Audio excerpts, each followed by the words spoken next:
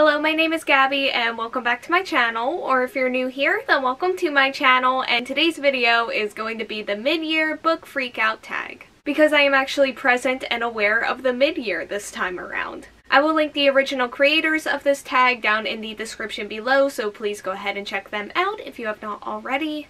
And then also down in the description below will be some content warnings for all of the books that I talk about in this video. We're also going to start off this video with some stats and then we're going to go right into the tag. But before we get into this video, I do just want to thank you all for the support on my channel. We recently just passed 100 subscribers here and I am just incredibly thankful for every single one of you. So I got all of my stats from Storygraph for this first part of the year because I really do love all of the stats that they give. And according to Storygraph, I have read 25 out of the 51 books that I have set out to read this year. And it says that it's 8,910 pages, which seems like a lot. 40% of the books that I read were less than 300 pages, 16% were over 500, and the other 44% were somewhere in between. And the moods of my reads have mostly been lighthearted lighthearted, adventurous, hopeful, and emotional. 40% of the books that I read have been fast-paced, and 40% have been medium-paced, and 20% have been slow-paced. My top 5 genres are young adult, LGBTQIA+, romance, contemporary, and fantasy. 88% are fiction and 12% are nonfiction. And my most read author is Alice Oseman because Heartstopper. And finally, my average rating, which I just did myself because I didn't put any of my ratings in the story graph for some reason. But my calculation does say that that average rating is roughly a 4.23. So with that, let's go ahead and get into the tag. So the best book that I've read so far in 2022, which was a lot easier than I thought it would be to pick a book for, but when I looked at all of the books that I've read so far this year, this book actually stood out pretty clearly, and that is Six Crimson Cranes by Elizabeth Lim. So this book includes a lot of elements from a ton of stories that will be listed over on the side of the screen here. And it follows our main character Shiori who has a secret forbidden magic and before her betrothal ceremony she loses control over this magic. And although she has successfully stalled the wedding that she does not want, she draws the attention of her sorceress stepmother. I just fell completely in love with this story like immediately and I got so incredibly lost in it. There are so many beautiful and interesting concepts and storylines. It even got me excited for things that I didn't even think that I would enjoy, but this made me love them. And I don't know how the rest of my reading year is going to go, but I do definitely feel in my heart that this book is for sure favorite book of the year material, and we'll see where it ends up by the end of the year. So next up is best sequels that I've read in 2022, and we're going to go through these kind of quickly because I have three that I want to talk about, and then one we'll get to a little later on, so I'll just save that one for then. So first off is The Kingdom of Copper by S.A. Chakraborty, which is the sequel to The City of Brass. City of Brass follows our main character who accidentally summons a djinn during a con and is forced to come to terms with the fact that magic is actually real even if she didn't believe in it beforehand. This is just one of my favorite series ever, and it's also one of the only other two books that I've read this year that have immersed me in its story like Six Crimson Cranes has. And I am just so addicted to like everything about it, which is definitely a good thing because the series is very long, but we are slowly but surely making our way through it. So next up is Heartstopper 2 and 3 and probably 4 very soon. So Heartstopper follows the story of our main character Charlie who is an openly gay high school student and he's kind of like the high-strung overthinking type. And then this also follows our main character Nick who is like a cheerful and soft-hearted rugby player. These two become friends very quickly once they meet and Charlie is falling hard for Nick but he just is not sure if he has a chance. I love these characters and these relationships and all of the joy that they bring to me because they just make my heart feel so happy and safe no matter how many serious topics they cover. And I am going to go put these two books back now before that happens again because it is probably going to happen again. And the final sequel that I'm going to be talking about for right now is The Shadow of Kyoshi by F.C. This takes place in the Avatar The Last Airbender universe and follows the story of Avatar Kyoshi and her journey of how she became the person that she is known for throughout the series. So I love this sequel because it gave me the experience that I craved when I read book one and unfortunately did not have a great time with even though I definitely should have due to like a terrible reading slump. And I'll end up talking about this book more in detail during my June wrap up, but I am just incredibly grateful for this. So next is new releases that I haven't read yet but that I want to read. And I do have two for this one. The first one is Book of Night by Holly Black which I believe is Holly Black's adult debut. I haven't heard great things about this honestly, but it is Holly Black so I want to give it a try anyway because I love the Folk of the Air series and we'll just see how it goes. I actually don't think I know anything about this book so this should be an interesting experience. And the next new release is Fevered Star by Rebecca Roanhorse and this is the sequel to Black Sun.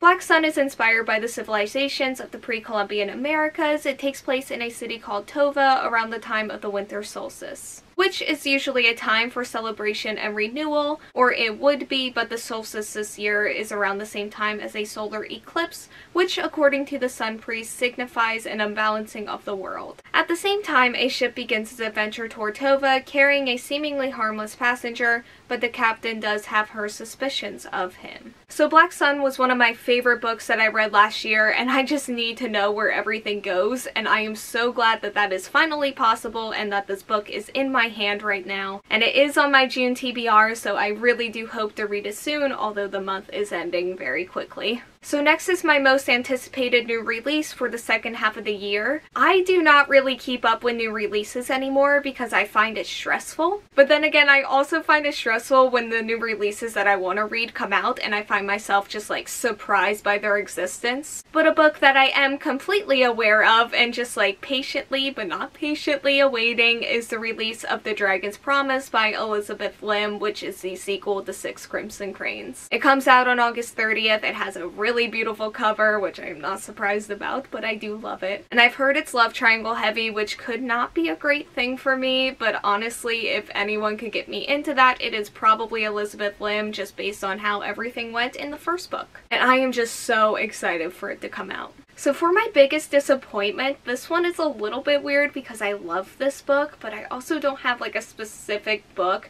that I overall found disappointing. But what I was really disappointed by was the ending of Strange the Dreamer by Laini Taylor. Strange the Dreamer follows our main character who has been obsessed with the lost city of Weep since he was 5 years old. However, he believes that he is not the correct person for this dream to have chosen as he thinks that he is not bold enough. However, when a legendary god slayer and warriors present him with the opportunity, he finds himself with the chance to either seize his dream or lose it forever. So I'm not going to go into like specifics here because spoilers, but I just didn't love the way things went and it did things that I expected but don't really enjoy because I never really enjoy when these types of things happen in general. And I just didn't think it matched from what I knew from the rest of the book. I don't know, it's hard to talk about vaguely because it's a very specific thing, but it makes me nervous to read the sequel no matter how much I love the rest of this book. And on that note, my biggest surprise was also Strange the Dreamer by Laini Taylor. And that is because I did not enjoy the Daughter of Smoke and Bone trilogy, and I was very shocked by that because I just did not get what everyone else loved, and I wish that I did. So I was very concerned going into this book that that would happen again, but with this book, I definitely did get it, and I love that minus most of the ending. Not all of the ending, but most of it. Other than that, this is another book that I got super invested and immersed in, and there are just a ton of beautiful moments and attention to detail. And I really enjoyed almost every single moment that I spent with it. So next is my new favorite author, either a debut or just new to me. And I am going to go ahead and list three here. Once again, we do have, that is, that's not the order. Once again, we do have Elizabeth Lim. I just hauled Spin the Dawn like a week or two ago, and I'm just so excited to read like all of this author's stories for as long as they exist. And then I also read Honey Girl by Morgan Rogers this year, and this is a debut that definitely got me excited for more from this author, for sure. And then I also read Cinderella is Dead by Kalynn Bayron, and I really want to read this author's other book, This Poison Heart, very soon, because I feel like this author just has some amazing concepts that really resonate with me, this book included, and especially This Poison Heart. So next up is Newest Fictional Crush, and this question is always hard for me, but I do you think I have an answer because Yuki from Honey Girl just said some things that really worked for me and that I could see like wanting for myself one day in the future. So next up is newest favorite characters and I do have two here. The first is Ben from I Wish You All the Best. Ben in this book goes through some really difficult and terrible things and I feel like I really got to know them and got invested in them. And then they also just said things that felt relatable and they also have some really fun dialogue. And speaking of fun dialogue, my other new favorite character is Ishu from Hani and Ishu's Guide to Fake Dating. I just really gelled with her right away and she has like this dry sarcastic thing going on and a personality that just really resonated with me. And I was always excited for her chapters of this book and she just made me smile a lot. So next is a book that made me cry and if I had filmed this video any earlier I may not have had an answer for this. But Aristotle and Dante Dive into the Waters of the World did cause some tears this time around. This is the sequel to Aristotle and Dante Discover the Secrets of the Universe and this follows two boys who are really opposite of one another however they develop a special bond when they meet. And this bond ends up helping them grow into who they want to be as individuals and also helps them learn like the most important truths of their lives. So like I said, I just finished this book the other day and I don't think my mind has fully processed my thoughts on it yet, which I hope happens soon because the month's almost over and it's almost wrap up time. So I'm gonna need to figure that out quickly, but I will say I loved how much time I got to spend with these characters because it just felt like I was following a section of their lives. And the level of attachment that I developed and just like the way the story is told really got to me. There is a very specific point where it got to me, but again, spoilers, not going to go into it, but it did happen and it was there. As for books that made me happy, I already mentioned the Heartstopper series, so I'm going to go with something different and go with Bloom Into You. Bloom Into You follows our main character who is a big fan of shoujo manga and has always dreamed of the day when she would receive a confession of her own. However, when that day comes from one of her male classmates, she ends up feeling nothing. She enters high school still unsure of how to respond, but gets inspired when she sees a student council member turn down her own suitor, so she goes to ask her for advice. Our main character's romance may have finally begun, however, when the next confession she receives comes from that student council member herself. So I thought the light novel had some really heartwarming moments and volume 1 of the manga had some nice and sweet comedy to it. Just like moments that overall made me smile. I have only read these two volumes so far but I definitely want to like interact with everything this series has to offer from manga to anime to light novel, everything. And while we're on the topic of manga, I am also going to go with volume 18 of Haikyuu. It's mostly just like Haikyuu in general for this answer, but volume 18 is the one that I read this year. Haikyuu follows our main character who wants to be the best volleyball player ever despite being on like the shorter side of height things. This series just never fails to make me incredibly happy and it's one of my favorite things ever. It has such amazing characters and comedic moments and also just a lot of heart and I love it so so so much. Okay so next are the most beautiful books that I have bought or received this year and I am just going to go down this list very quickly because I have a huge weakness for pretty books. Aristotle and Dante dive into the waters of the world. Book of Night by Holly Black. Volume 1 of Hell's Paradise by Yuji Kaku. Muse of Nightmares by Laini Taylor. Redemptor by Jordan Ifueko. So This Is Ever After by F.T. Lukens. Spin the Dawn by Elizabeth Lim. The City Beautiful by Aiden Polydoros. And finally, These Violent Delights by Chloe Gong.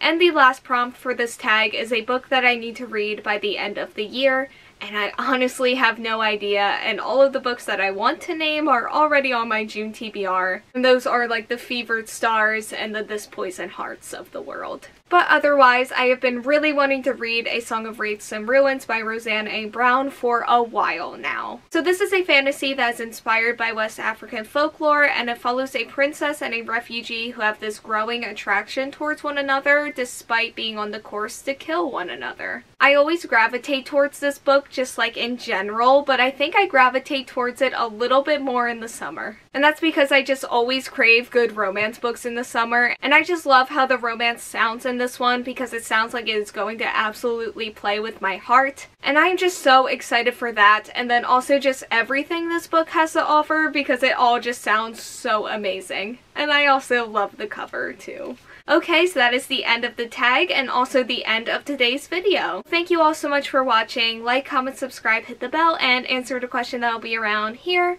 if you want to do that. And hopefully I will see you here next time. Bye.